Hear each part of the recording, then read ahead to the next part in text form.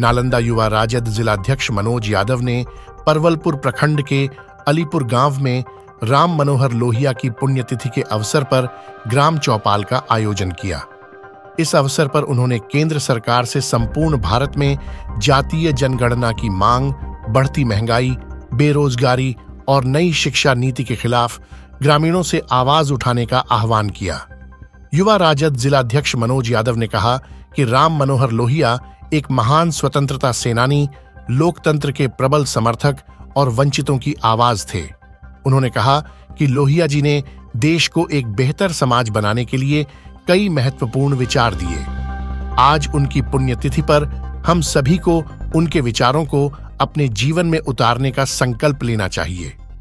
ग्राम चौपाल में शामिल ग्रामीणों ने भी डॉक्टर लोहिया के विचारों को याद करते हुए कहा कि वे एक सच्चे देशभक्त और समाज सेवी थे।